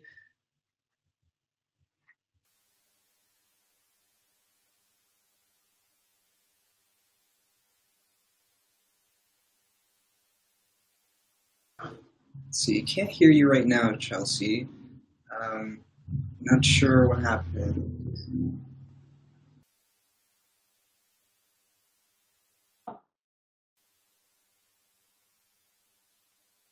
All right. Still can't hear you. You may have to rejoin and we can come back to you. I'm not sure what the issue was. Um, apologize for the inconvenience.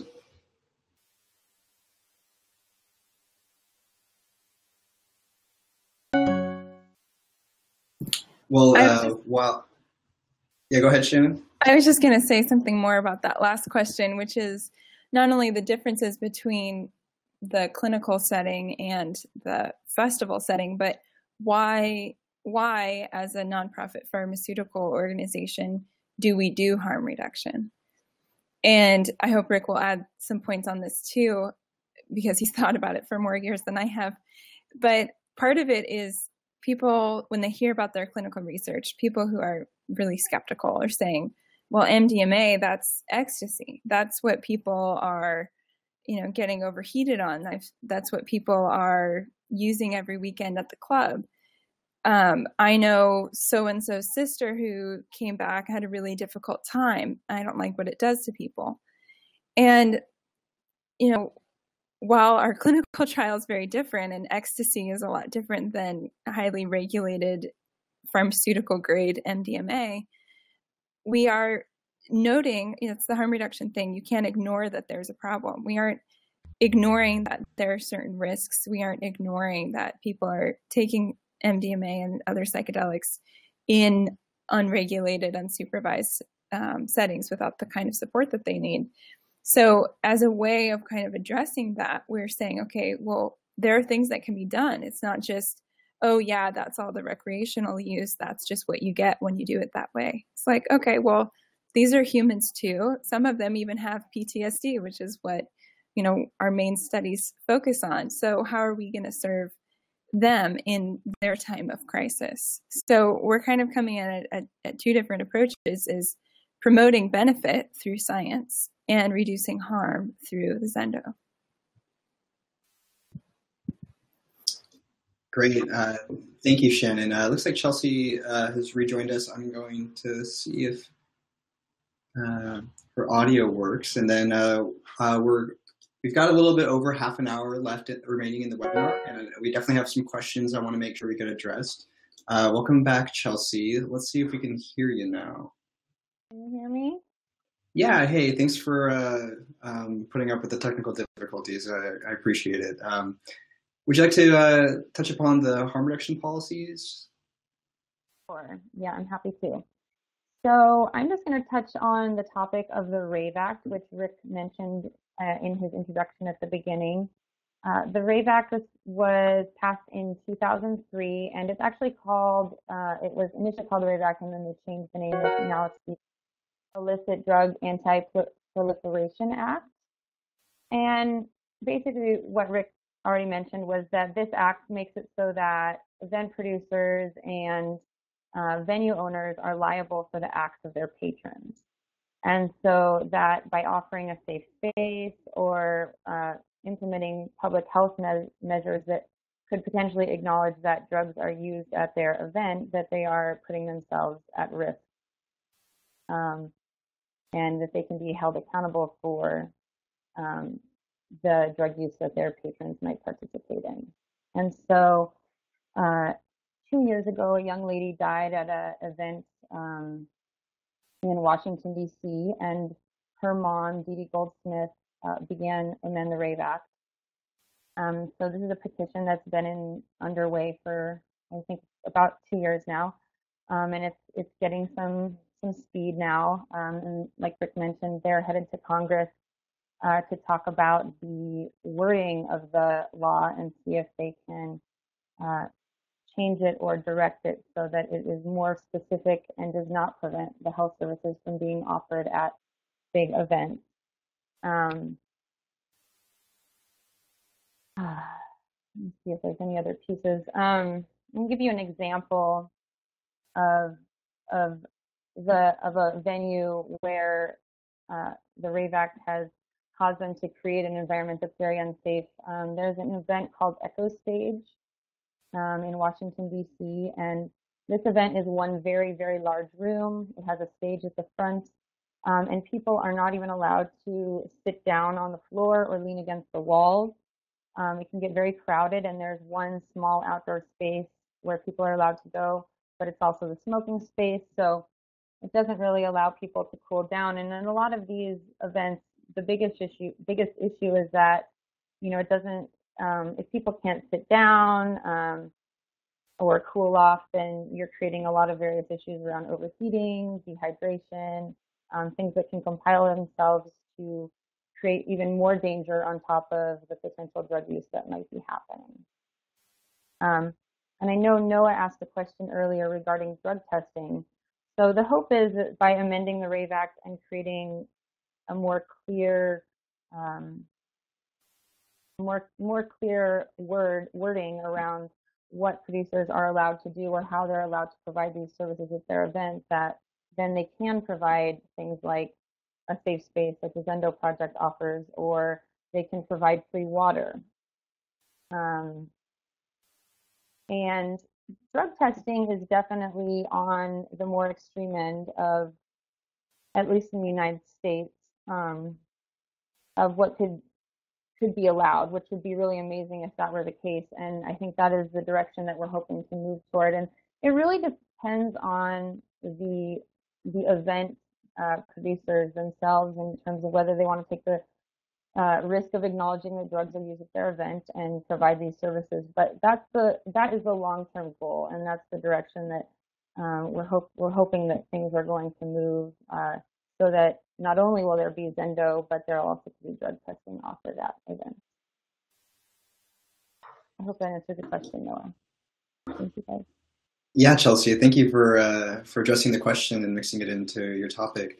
Uh, we got one more kind of brief uh, update before we move more heavily into Q and A. Um, can any of our uh, speakers kind of update us about where the Zendo project is now after the recent Indiegogo campaign? Um, maybe tell us about which festivals we've recently been to, which ones we will be going to in the near future, and maybe some other outreach and education efforts that we'll be undertaking soon. talk on that. Uh, yeah, so our most recent um, festival that we did was Utopia, which is San Diego's regional burn. And that was the first time that we've done that regional, and it's the second regional that we've done, the other one being AfrikaBurn in Tankwa, South Africa. And um, it was a very successful event, and we're hoping to, to come back next year and provide services again and uh, the next, right now, the next event that we'll be going to is in February, and that's going to be Envision Festival. It'll be our fourth year at Envision, and it is um, it's a wonderful experience at Envision. We're very integrated with medical and security and rangers, and um, we're placed right next to medical. And there will be volunteer opportunities for that, and the application for that will be going out in the Zendo email uh, newsletter which goes out monthly, and that should be going out probably next month, that application for Envision. And um, for people who haven't signed up for the Zendo project email, it's Zendo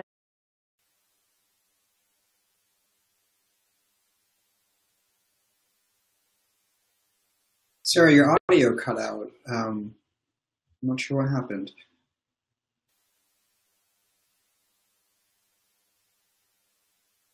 Um, not sure what happened. Uh, see.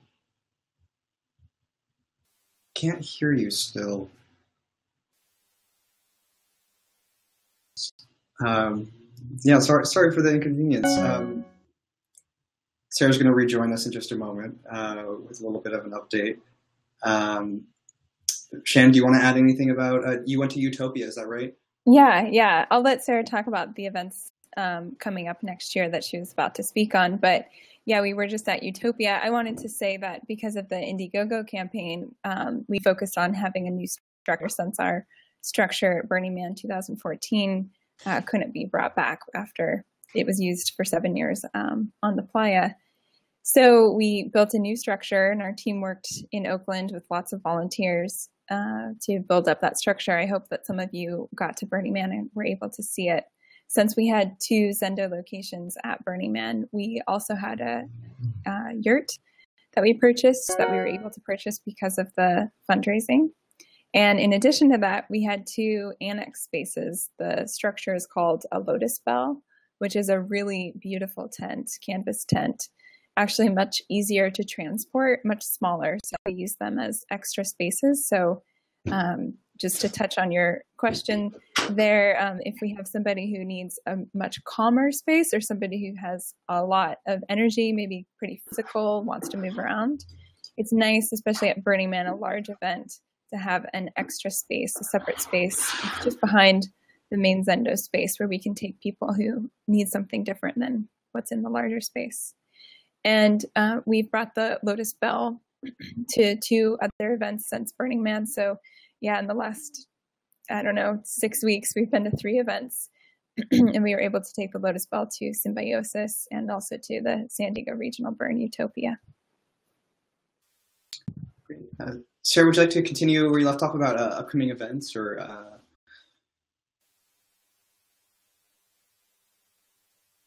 was that me? Can you hear me? Yeah, yeah, we can hear you. We were wondering if you want to finish where you left off uh, about upcoming events and other upcoming outreach and education efforts.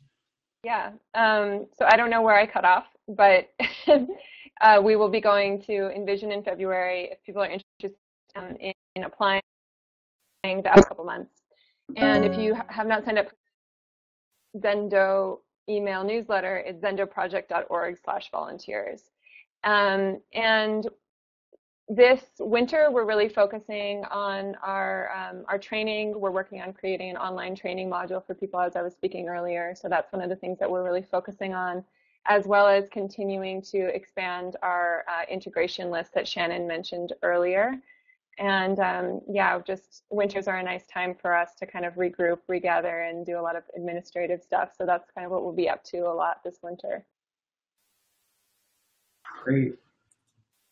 Thanks so much. Um, we've got about 25 minutes left and we've covered uh, most of our topics. I'd like to move into some questions uh, if everyone's open to it. Um, uh, one of our first participants today was Blake. Um, and Blake had a question about um, the act of continuing to take psychedelics and getting benefits for them or, um, you know, kind of stopping to uh, take what you've learned and focus on things like yoga and meditation to engage those mindsets. Uh, it's a question a lot about integration and wondering um, how important is integration to psychedelic experiences? Can you get the benefits from just taking psychedelics, or do you actually need to uh, work these insights back into your life? And I'm wondering if anyone feels called to speak a little bit about um, integration versus um, just taking psychedelics without really processing things fully. Hmm. Um, I, I, can speak to that just a little bit.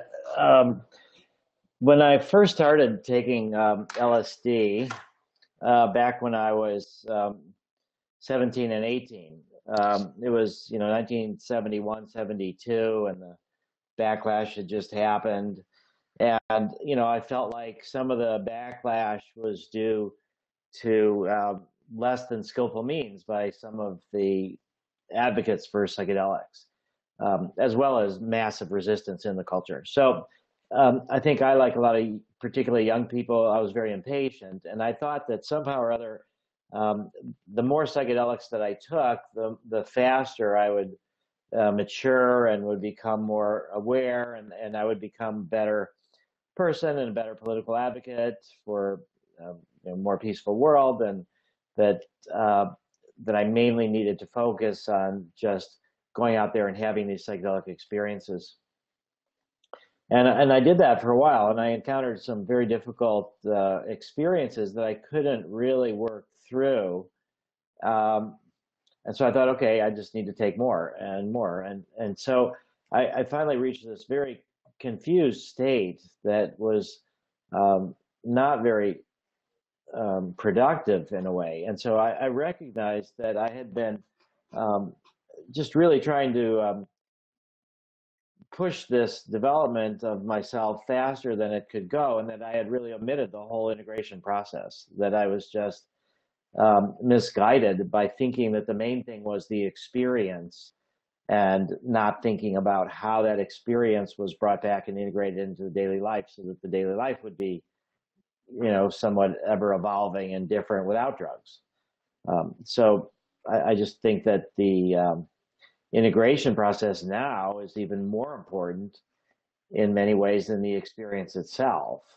How what you do with it and how you anchor it. And in our therapy um, setting we really focus a lot on integration. And even tell people to think about it as a two-day experience. The first is the day that you have it and then you spend the night in the treatment center. The second day is for rest and reflection and integration. So i think um, you know the more that we understand uh, about this therapeutic process, the more we come to appreciate that integration is really the key to long-term change.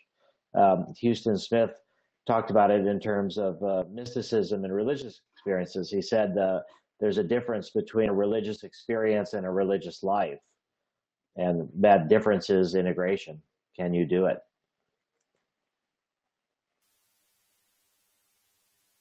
Thank you, Rick. Uh, that's a that's a that's a really great quote. Um, it's still watching onto it. Uh, um, would anyone else like to speak a little bit about integration and the importance of it? If not, we can move on to the next question. I can, I can share an analogy. Can you hear me? Yeah, yeah. Please share the analogy.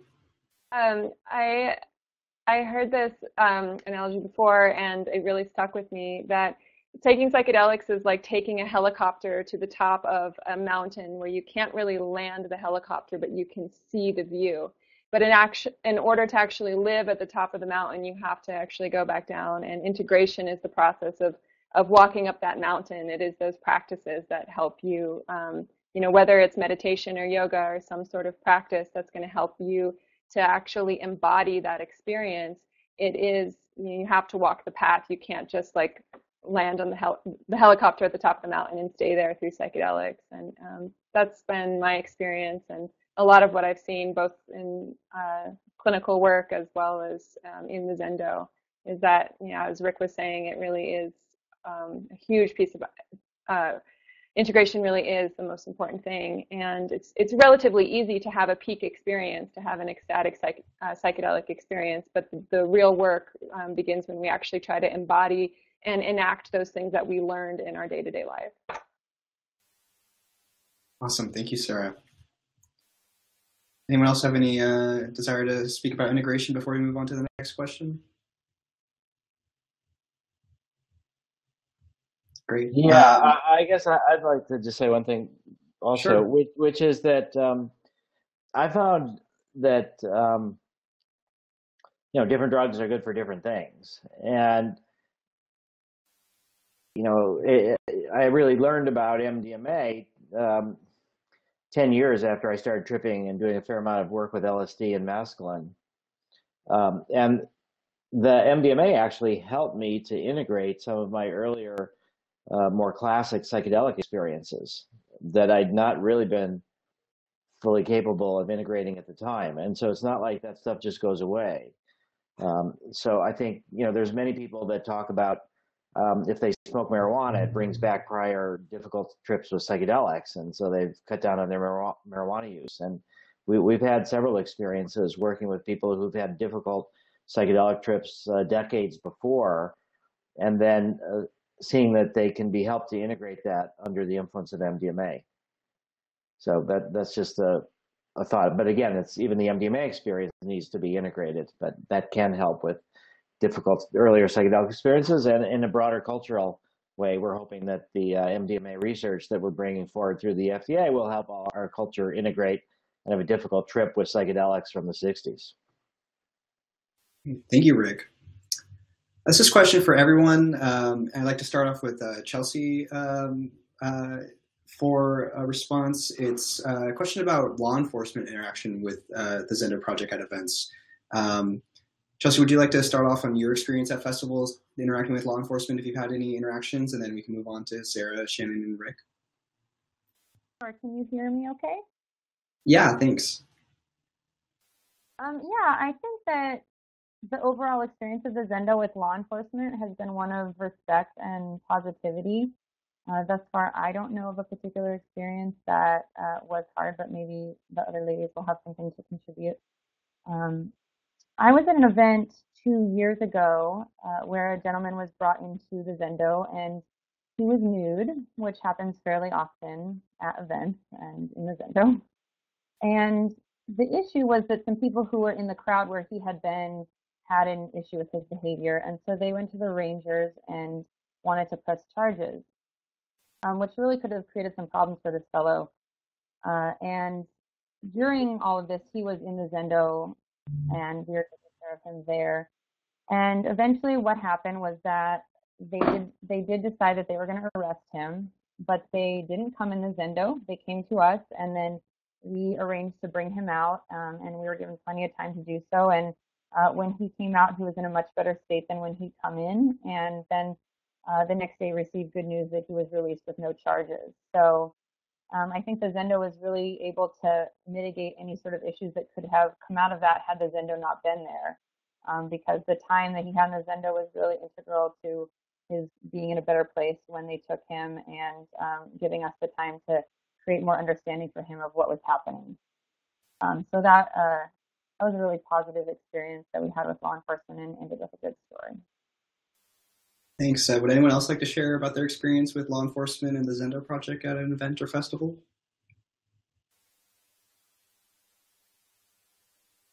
Sara? Um, Sara or Rick, whoever. Uh, whoever oh well, you know, I, would be glad to do it. I think, um, you know, a lot of times my major um, relationships, if not directly but indirectly, are with law enforcement. And you know, this year, the irony, of course, was that the expansion from one Zendo to two Zendo locations came about because the Bureau of Land Management um, told the Burning Man organization that they wanted them to do more psychedelic harm reduction. So we actually have had a better uh, smoother relationship in some ways with law enforcement than with the Burning Man organization, who's scared about law enforcement. Uh, and so I think that um, several times over the years, I mean, Sara did uh, heroic work with somebody who was brought to us by the BLM in a prior year. Uh, probably she spent like 12 hours with this guy trying to help him uh, calm down. And in previous years, uh, police have brought people to us in handcuffs that were tripping and needed to be restrained. And then hours later, they would come back and let the people off the handcuffs. So, I mean, I think the sad aspect of this is that law enforcement at Burning Man is looking to make money off of giving tickets for marijuana. And you can convert uh, marijuana uh, tickets to money, but if you arrest somebody for psychedelics, um, there's no conversion into cash, and then you got to arrest people, and you know takes you away from making money off of marijuana arrests. So that's kind of the cynical, but I think realistic view of what's going on there. And there, there is also this sense that um, in the encounters that we've had um, with BLM, that they don't, they realize that when people are tripping, they don't need to be um, taken away in police cars, and they don't need to be tranquilized, and that that's not really going to be good for them, and they don't need to be arrested, and that they're not dealers, and that so I, I, think there is this growing sense among law enforcement too that um, the services of Zendo are an aid to, you know, both helping them pursue their uh, public safety, uh, you know, money earning mission, and also that um, there's a little bit more compassion. I, I should also add that um, in our study with MDMA for post traumatic stress disorder um, in veterans, we added firefighters and police officers just for more political reasons to try to say, you know, the research that we're doing is for the mainstream. It's for veterans, but also firefighters and police officers. And and actually, to my surprise, we did enroll three firefighters and, and one police officer. So we rarely have any kind of compassion for the police because, um, you know, we feel like uh, we're part of the prey. But at the same time, the police really have one of the most difficult jobs that there is, and one of the jobs that's most likely to lead to PTSD. You know, they're always um, worried about their safety, about whether they'll be attacked or killed. They're, they see horrific things of what people do to other people, and they often get uh, deadened to all of that emotionally. And so I think the, the police are actually uh, one of the groups in our society that most needs MDMA assisted psychotherapy. So I'm very hopeful that over time we will deepen our relationship with law enforcement and that law enforcement will come to support the psychedelic harm reduction and the harm reduction in general um, when it comes to drug abuse, and the, that law enforcement can focus more on violent crimes and crimes against other people rather than crimes without victims that much of the drug war is about. Great. Thank you, Rick. Um, Sara, did you have anything you wanted to add about law enforcement? Um, I was going to add a couple things. Oh, oh, Shannon, sure. Anyway. One positive uh, interaction we've had, well, I guess it was not an interaction with law enforcement, but at Envision in Costa Rica this past February, um, the way that the festival has it set up is that the local law enforcement stays outside of the festival grounds. And inside of the festival, they have rangers, security basically, people who are trained, who have most of them been to many festivals. They know what the festival culture is like and what things pose a serious security uh, risk and what things are just normal, wacky festival behavior and when to bring them to medical and when to bring them to Zendo. So most of our interactions there with were with rangers, and if they need to escalate a case, a security case or violence, uh, then they will call in the law enforcement, and law enforcement will only come in if they've been called by the festival. And that really impacts our work with Zendo because it changes how people are experiencing the festival. And especially if somebody's on a psychedelic, if they're walking around and there are also police officers, usually carrying weapons, and with Envision, lots of the attendees are foreigners to Costa Rica. So they're in a foreign country walking around with foreign law enforcement, um, but luckily they weren't at Envision. Uh, it really impacts their experience. Uh, there can be an increased level of mistrust, paranoia, and then if we get a guest, then who has had that feeling because of law enforcement, it can happen because of other reasons too. Even just rangers are feeling creeped out by being seen or being in public. But when we get somebody who has that kind of paranoia, then it's even hard for them to trust us in the Zendo. Who are you? What are you doing? Why do you have a why do you have this space for me? Why do you want me to sit down and talk with you? And then our we have to do a lot of work of you know we're the Zendo. This is what we do. Uh, you know, and really orient them to we are not police officers. Uh, we do not have weapons in here um, and really provide that kind of assurance and safety.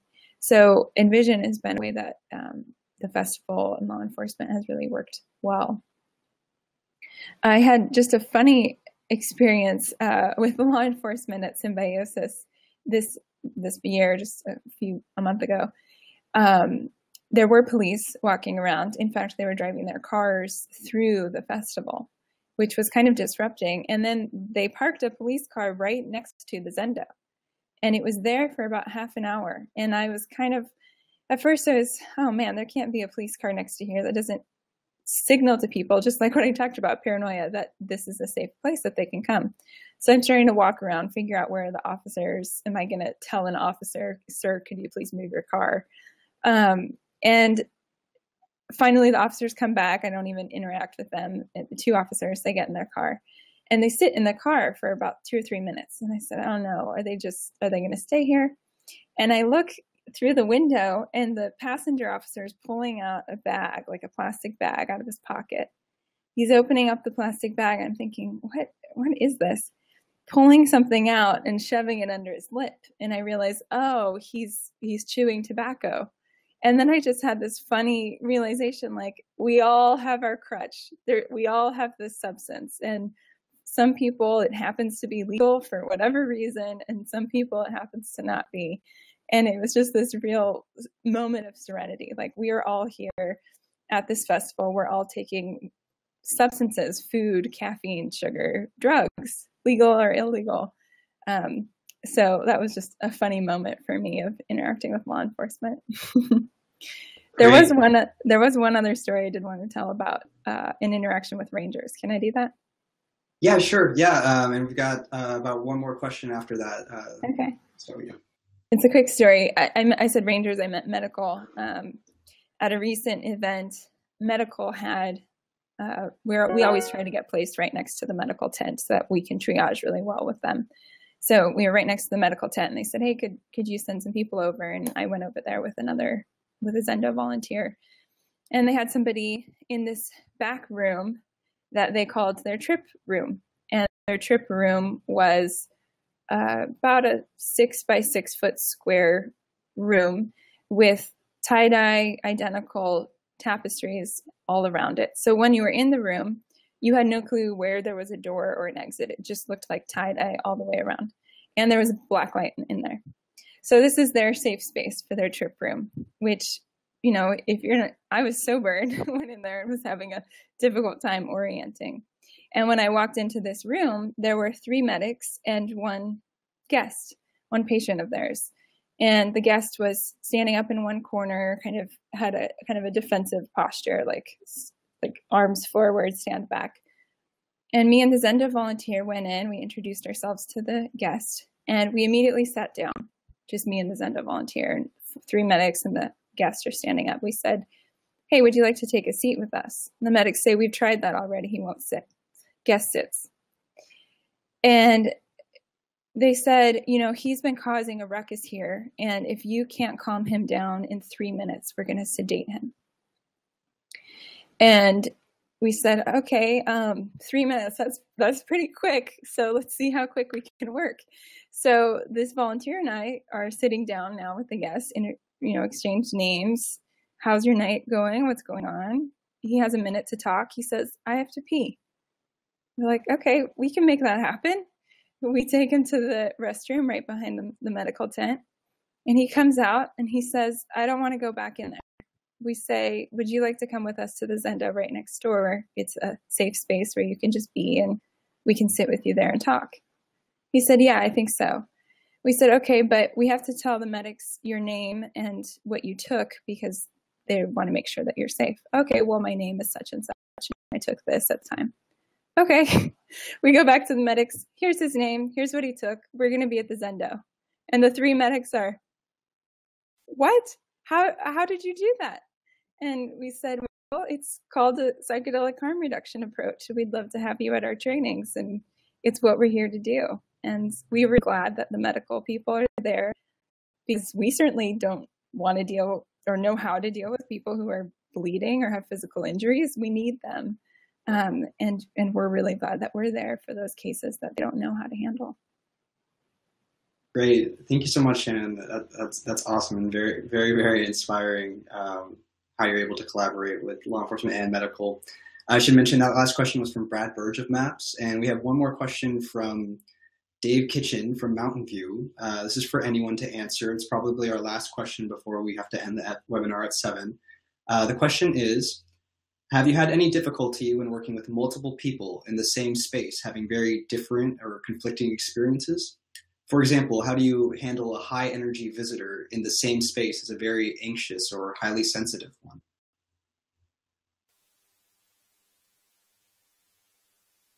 I can answer that one. Thank you, Sara. Um, what we've noticed in this in the space has been really interesting. Uh, what happens most often is that someone who's having a really high energy experience and someone who's having maybe a more quiet or internal experience can um, most of the time uh, exist, coexist in the same space, and it really seems to work out. Um, it's kind of, I joke a little bit that it kind of feels in the Zendo sometimes like a 24-7 ayahuasca experience, except for you have absolutely no idea what any of the people took. I mean, we do, we know what they took when they came in, this, when they come in the space, but like when you, you have no idea what's going to show up, you have no idea what's going to be there. And so it's just like people coming in and out in all kinds of different states. And some people are definitely more introverted and quiet, and some people are definitely more um, high energy. And one of the things that I notice is that uh, they kind of actually work well, uh, regulate each other. Like uh, someone with really high energy can see the person who might be a little bit more quiet. And it's almost like they they experience that and it kind of calms their system down a little bit at times.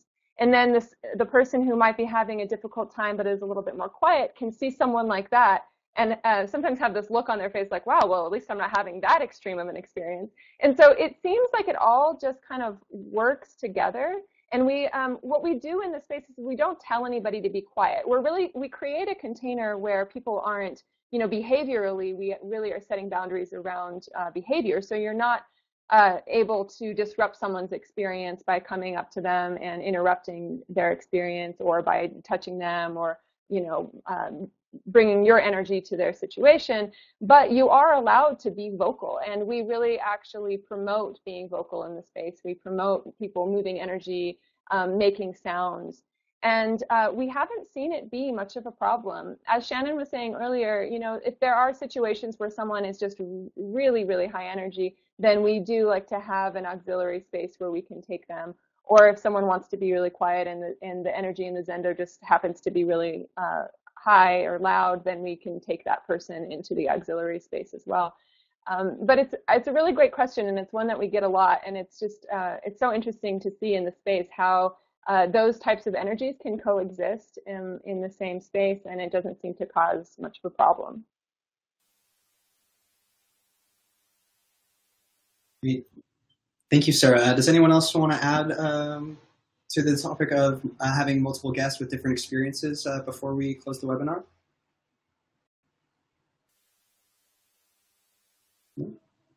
Yeah, right, I'll, well- I'll just oh, say that uh, you know in the um, you know the breathwork training that Stan and Christina Grof have developed in the holotropic breathwork, you'll have a group of people, and you're all doing this together. And you know some people are quiet and some people are really loud. And you know what what we found often is that um,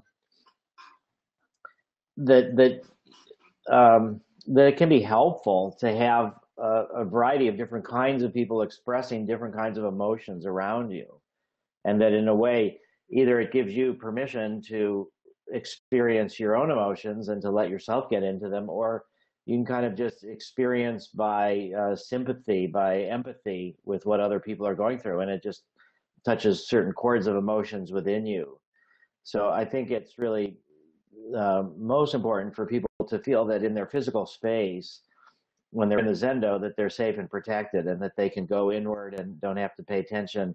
But if there's noises and other things happening around them, particularly if it's of people letting their emotions go rather than trying to hold it in, that can be really helpful for giving people permission and uh, encouragement, in a sense, to go into their own emotions. So we, we don't feel like we need to create separate spaces with sheets between every person, so it's all isolated and alone. It, it's about um, sort of becoming comfortable expressing yourself in um, both to yourself and to others in a, in a more public setting. It, it's okay, though occasionally, you know, we do have these other structures, and if it's really what, what's most destructive is um, and disruptive is usually people that are drunk on alcohol and trying to get them to move out to be somewhere else.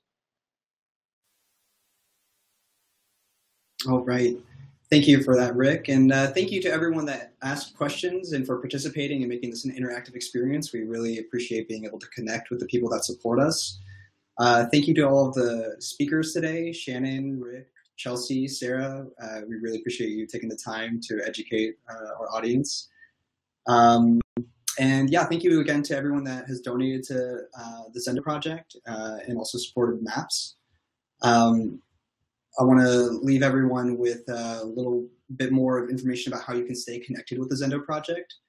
Uh, it, we have a new website that just launched. It's zendoproject.org, and on there you can subscribe to the Zendo email update. It also has links to our social media presence. So the Zendo project is on Facebook, Twitter, Instagram, and Google So if you use any of those platforms, please uh, consider supporting us on social media in that capacity. And that's about it. Uh, if you, as some of our speakers said, if you have an event that you'd like to see the Zendo at, please send us an email and uh, let us know what your your thoughts are. And uh, feel free to contact us at zendo at maps.org to continue the conversation after this webinar. Uh, any final thoughts from anyone else uh, that's a speaker today? Um, and again, thank you all for participating. Um, I'll just say my, my final thought is I'm so grateful to um, Shannon and Chelsea and Sara and Lene because uh, as time goes by, they do more and more and I do less and less.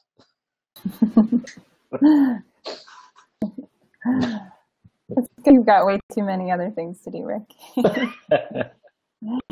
I wanted to say thank you to Bryce. Thank you for helping us with the technology side of this and planning and moderating today. We appreciate it. It's an honor. And All thank right. you, Bryce. And um, you know, thank you for everybody who who's listening to the webinar now and everyone who's going to listen to the recording. Um, it's been yeah, it's been fun, and uh, thank you so much for for being here. Great. All right, everyone, we're going to bring the webinar to a close. Thank you so much again for joining us. Uh, we'll see you uh, at our next event. Goodbye. Great. Bye, Sara. Bye, everybody. Bye, Shannon. Bye, Chelsea.